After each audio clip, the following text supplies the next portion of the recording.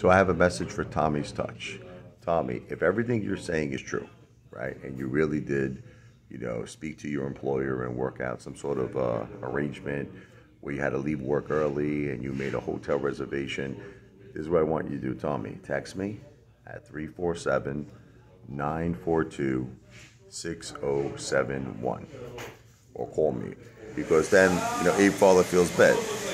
Apefather wants to make it up to you. You know what I mean? If you made a reservation, now that's 100%. I feel bad. So, so let me know if it's true. But if it's not, that if you're just BSing me, then afangu. If you're just BSing me. But if you're telling me the truth, prove it to me. Text me. Show me the reservation, okay? I'll make it up to you. I'm a stand-up guy. You understand? I'm a knock-around guy. I'm a street guy.